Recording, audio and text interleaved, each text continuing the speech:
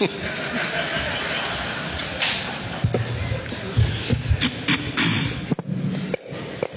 am not as short as you think I am.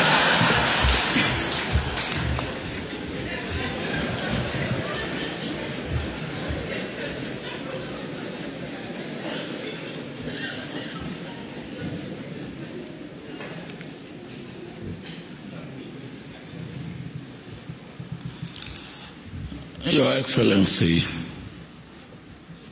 President William Ruto,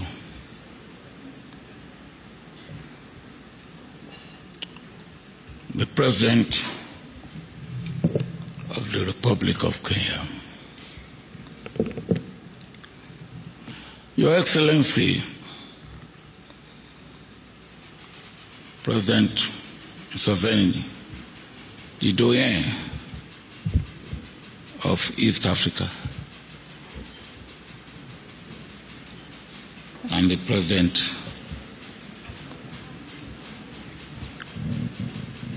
My sister, Your Excellency, the President of Tanzania, Madam Samia Suluhu Hassan,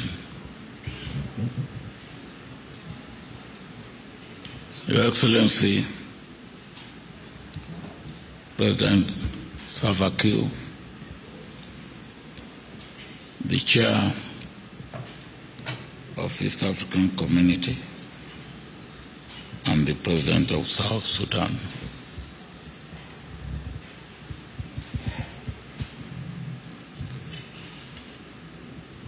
My dear colleague,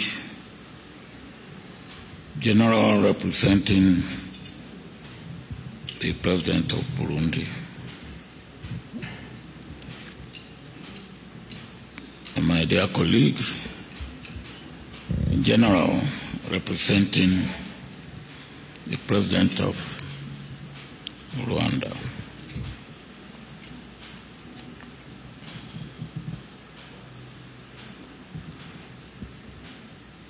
Prime Minister Raila Odinga, my friend, my brother, and my dear sister, Mrs. Odinga.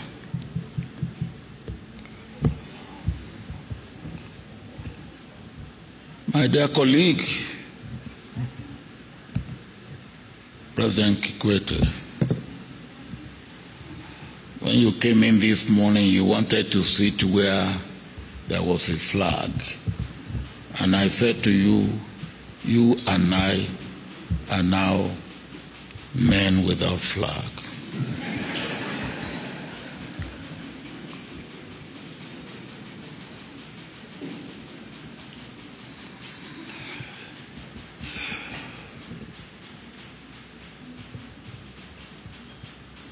Distinguished diplomats, distinguished brothers and sisters from Africa, distinguished friends of Africa, distinguished ladies and gentlemen.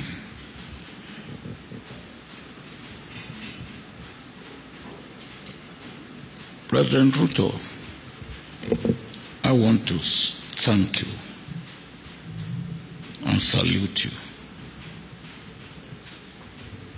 because what we are doing today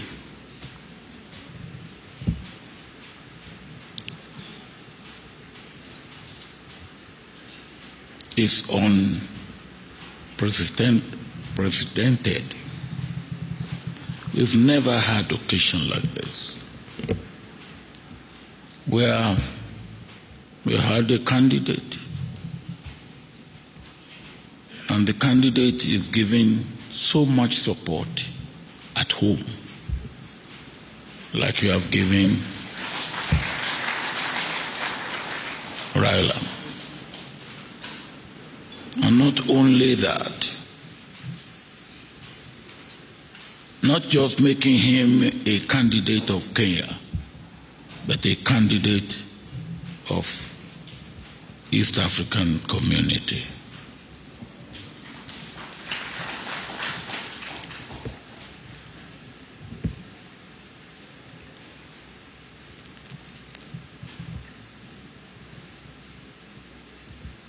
From what you have said and what Raila himself have said, we need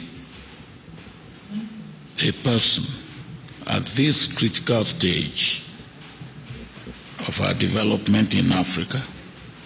But at this situation, the present situation of the world,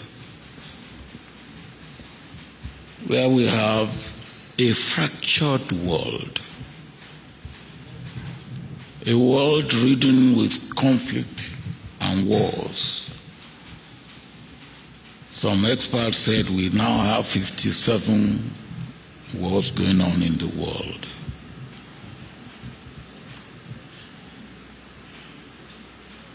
A situation where war was going or war is going on in Europe. And we are suffering from hunger in Africa.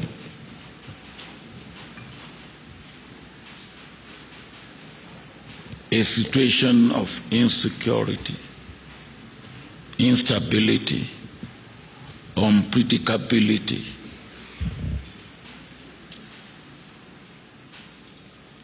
And instead of common security and shared uh, responsibility and shared prosperity, we are wallowing in poverty. And we cannot get out of this unless we put our house in order and we do what we have to do individually as countries in Africa and collectively as a continent.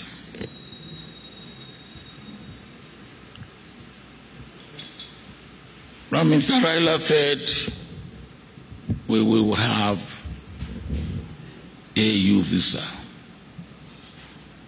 I'm waiting for it. And I will never stop asking you for it when you get there.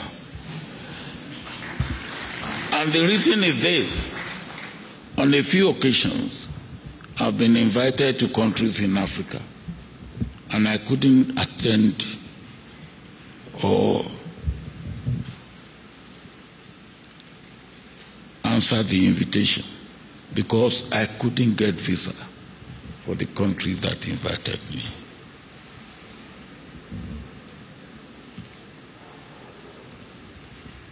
And as you rightly said, 35 visas to go through Africa. And some of these visas, it takes weeks before you get them. So if you are trying to get 35 visas for to visit countries in Africa, it will take you a year. That is not the way that we can make progress.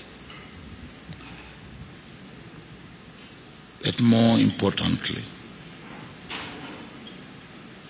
and I know you,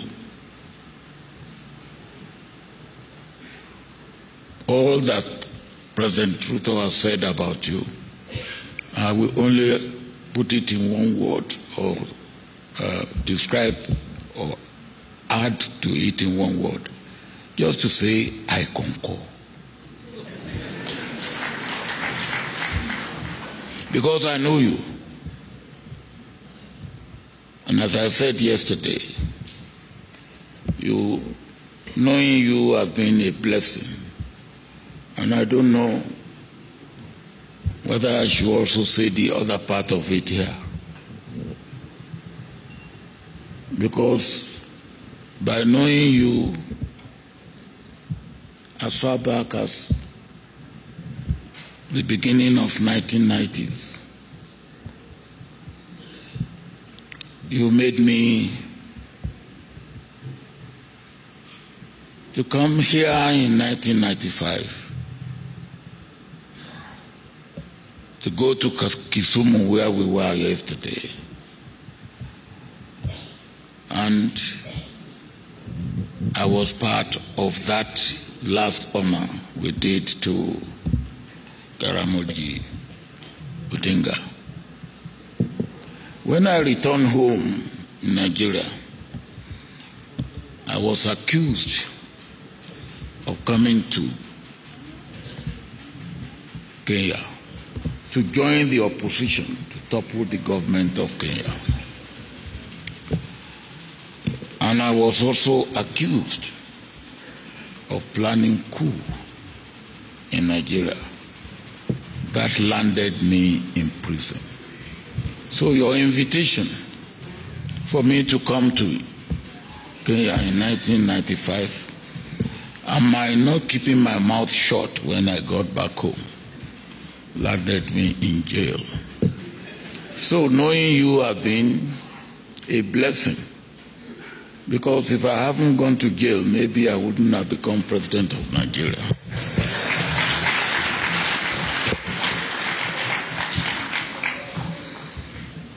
But President Ruto said you will be making Africa proud and powerful. You are right, Mr. President. You will do more than that. You will make Africa proud. You will make Africa powerful.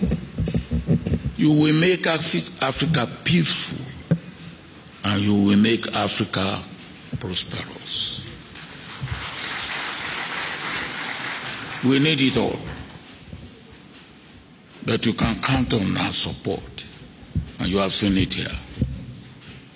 But what is going on today here also means extra responsibility on you and extra responsibility on us.